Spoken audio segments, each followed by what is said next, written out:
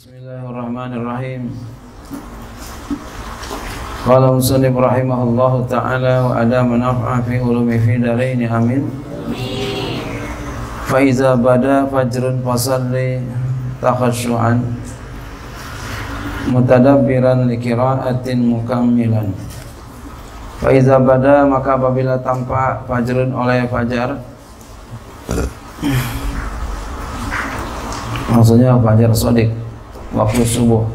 Fasolli takhusu'an maka sholatlah engkau dengan khusyuk. Mutadabbiran lagi Mutadabbiran ya. Mentadaburkan makna Bacaan yang dibaca.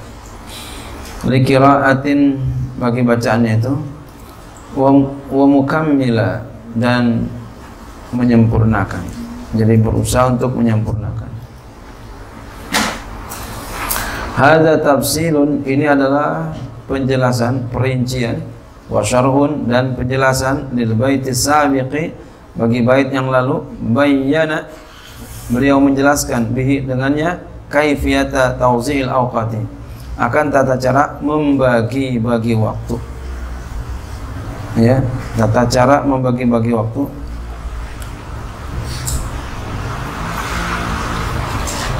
ya. Wasarfaha wasarfaha ya. dan wasarfiha dan tata cara menggunakan waktu fitaati dalam segala ketaatan. Jadi kalau begitu kita memang harus membagi-bagi. Jadi bukan kapan aja bukan. Umpama dikasih zikir nih zikirlah Allah wala quwata illa billah il alil azim. Bacanya kapan kapan aja yang penting tiap hari. Itu kurang bagus. Yang bagus ya harus diwaktukan. Namanya tauzi' dibagi-bagi. Aku baca ini harus habis ini. Baca salawat ya baca salawat kapan yang bagus kita baca? Pagi-pagi. Pagi-pagi kita baca. Ya. Mama zikiran ini kita pagi-pagi. Ya, kecuali kita nggak sempat atau apa gitu ya. Sempat bareng jadi bagi-bagi yang lainnya kalau baca ya tambahan aja. Yang intinya itu.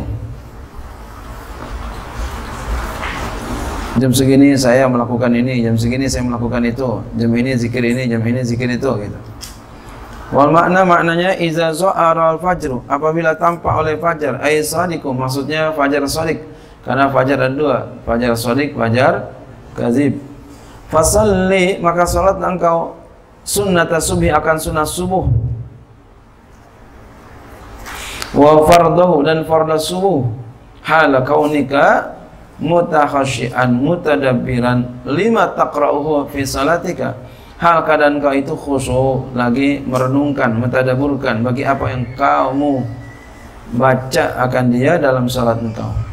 Ay muta'amilan maksudnya merenungkan. Fi ma'anihi pada mana-mananya mukammilan la ya, lagi menyempurnakan baginya bagi bacaannya itu sempurnain bi antatiya bi jami'i sunani wal hayati wal adabi dengan bahwa engkau datang dengan sekalian sunnah-sunnah dan hayat-hayat dan adab-adabnya. Lakukan semuanya. Jadi sholat usahakan sesempurna mungkin. Sunatnya kerjain ya wajibnya apalagi adabnya. Wajibnya udah pasti ya. Adab-adabnya sunnah-sunnahnya kerjain. Khusyuk itu apa khusyuk? Wa takhassu'u taqalluful khusyu'i. Khusyuk itu taqalluful khusyuk. Membebani khusyuk. Atau juga bisa kita terjemahkan ya taqalluful khusyu'i usaha khusyuk. Ya pembebanan khusyuk. Yaitu usaha khusyuk.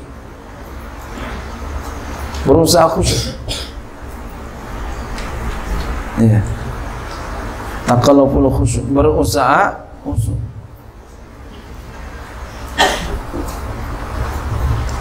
Kita untuk khusus semuanya dari awal sampai akhir. Beratnya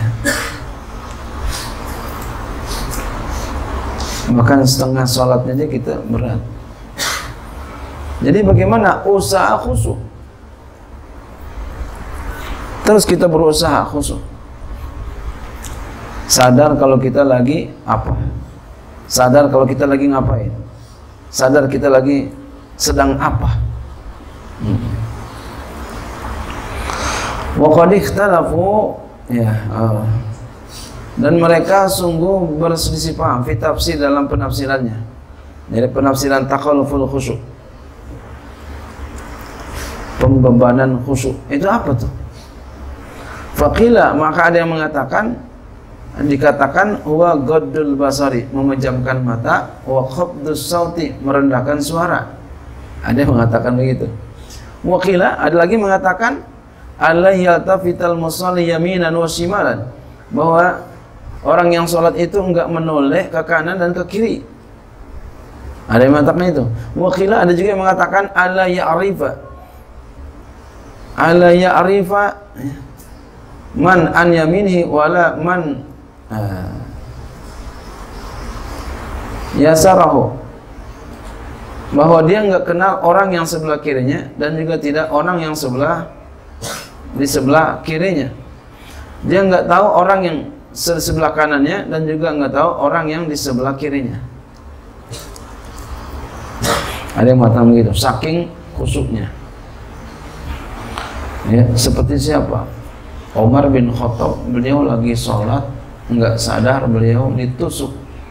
Ya, yang akhirnya meninggal dunia, ya, bawah pusernya Sayyidina Umar ditusuk dengan belati. Saking kusuknya nggak tahu tuh beliau melakukan itu beliau dikerjain kayak begitu. Subhanallah. Wakila dikatakan huwa dia itu jam'ul haibati wal i'radi amma siwa salati. Mengumpulkan haibah. Haibah itu takut campur hormat haibah. Apalagi wal i'radu berpaling amma siwa salati dari sesuatu selain salat. Berpaling dari sesuatu selain salat. Apa aja yang bukan salat palingkan. Wa hadzal akhiru huwa tahqiqu. Ini yang akhir itulah yang ditahqiqkan yang dikuatkan. Kenapa? Li annahu ibaratun an amali jawarihi wa amma ya wa amal qalbi karena bahwasanya dia itu ibarat daripada amal anggota tubuh dan amal hati.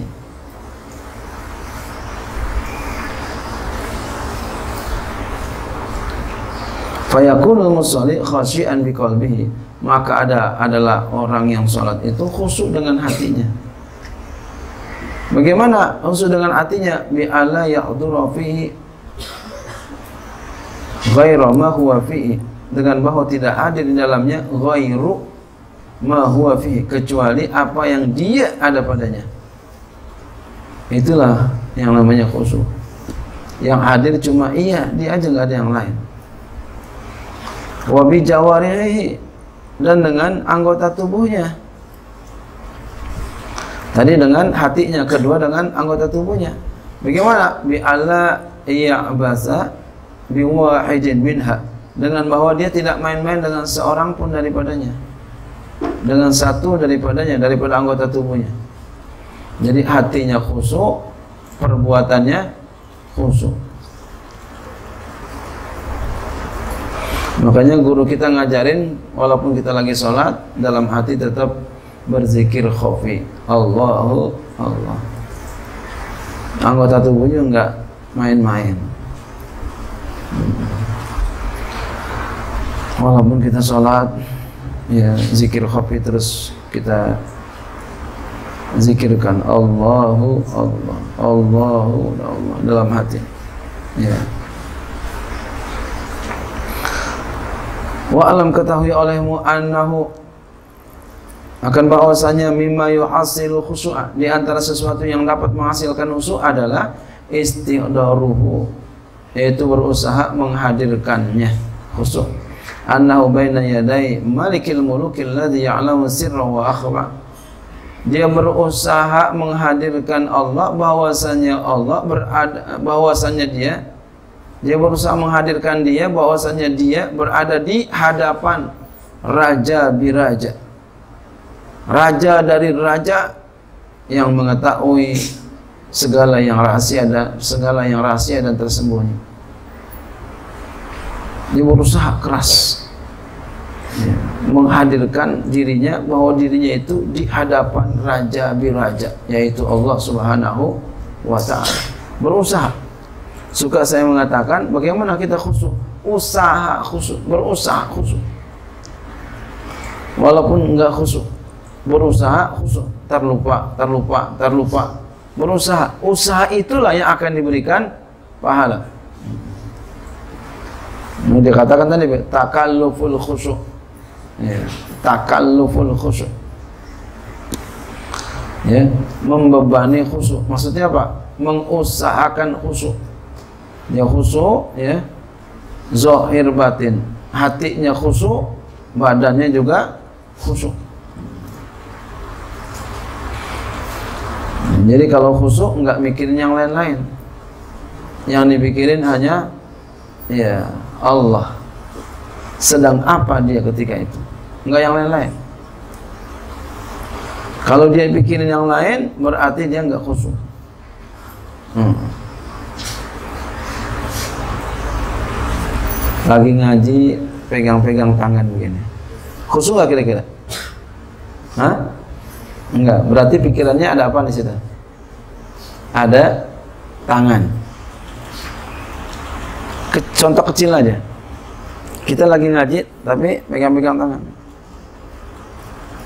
ya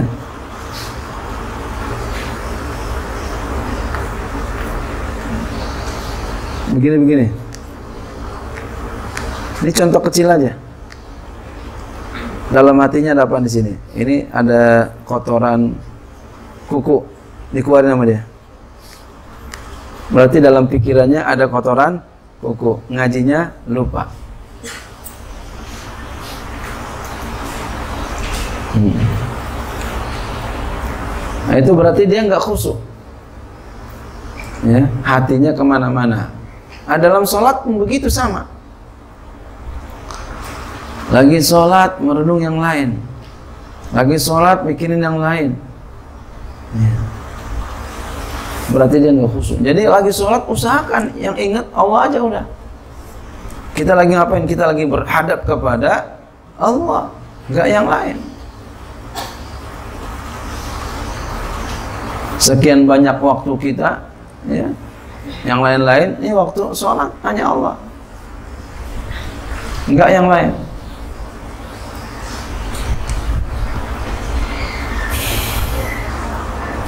Jangan ada satu lintasan pikiran selain Allah.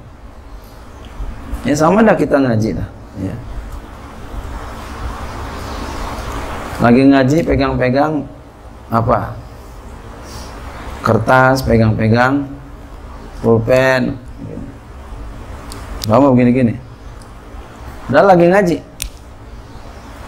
Di benak kita ada pikiran apa? Pikirin ini, putar-putar ini. Berarti di situ dia nggak khusyuk. Nah kalau yang khusyuk pegang pulpennya di sini perhatiin. Itu orang ngaji khusyuk. Guru lagi jelasin mata mata dia menatap gurunya, tangannya pegang pena. Ini calon-calon ilmuwan. Ini calon ilmuwan. Karena dia perhatiin. Karena dia khusyuk.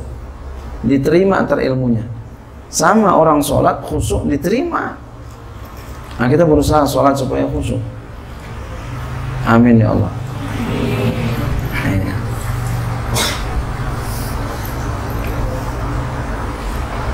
Wa anna yunajih dan bahwasanya dia bermunajat kepada Allah.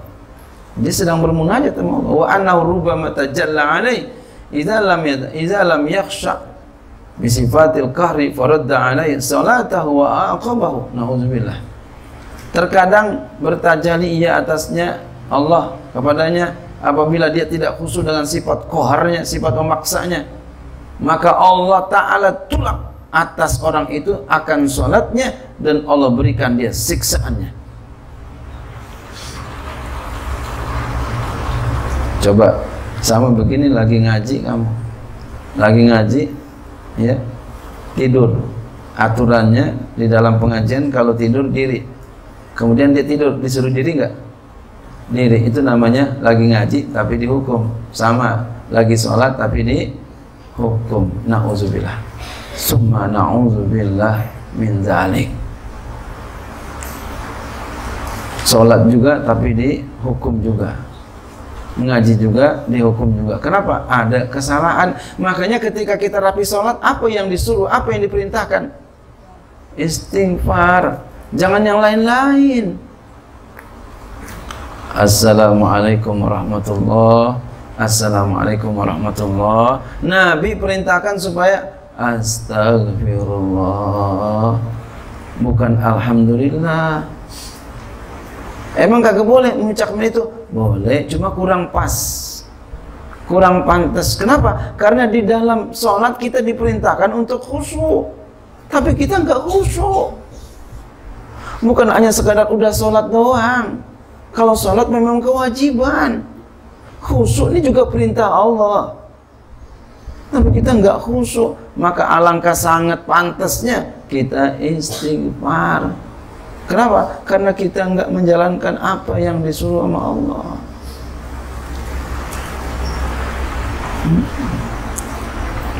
Nggak kuat kita. Nggak kuat.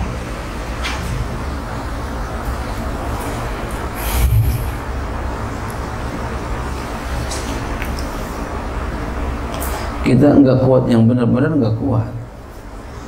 Jangan kita oh ngaku-ngaku saya mau udah khusyuk ya. jangan begitu. Atau udah bisa sholat. Kalau sholat mah kewajiban nak. Udah pantas. Udah pantas. Udah pantas itu mas bayang udah pantas. Bukan pantas lagi emang kewajiban tapi ada perintah lagi selain itu yaitu khusyuk. Diperintahin kita untuk khusyuk. Tapi kita enggak khusyuk. Makanya kalimat yang paling pantas dalam kitab tasawuf yaitu minausaniyah itu tasawuf yang suruh ulama tasawuf ulama sufi ya Tuan Syekh Abdullah Asy'arani di situ dibilangin supaya istighfar. Jangan yang lain-lain. Ada lagi yang pakai yang lain. Doa. Jangan doa dulu. Wakina azaban nar. Yang disuruh bukan itu nak. Yang disuruh adalah istighfar. Setelah itu baru doa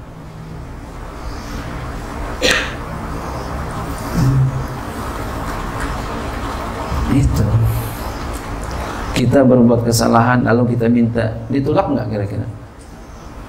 Ditolak. Dan nggak sopan nggak adab. Berbuat kesalahan kok minta. Harusnya apa? Minta maaf. Minta ampun.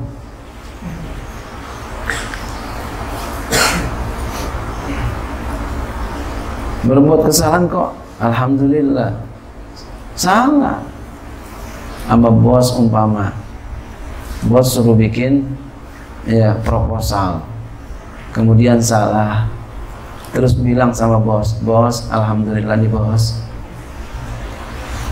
Udah bikin ini. Tapi salah proposal kita. Pantas nggak omongan itu? Nggak pantas harusnya apa? Mohon maaf bos. Saya udah bikin ini tapi salah. Nanti saya perbaiki.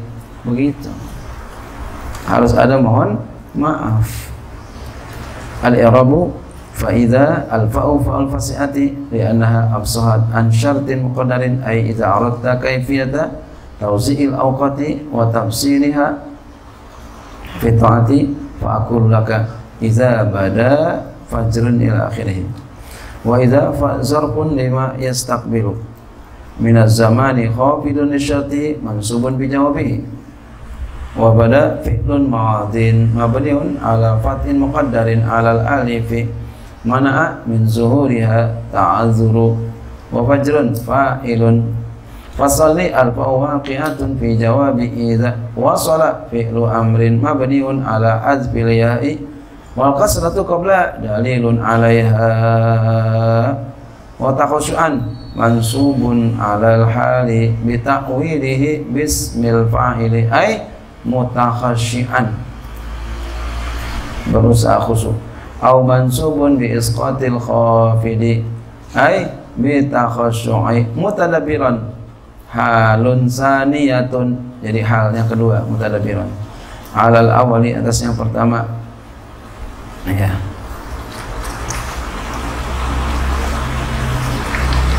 Li qiraatin wa li qiraatin muta'alliqun bihi.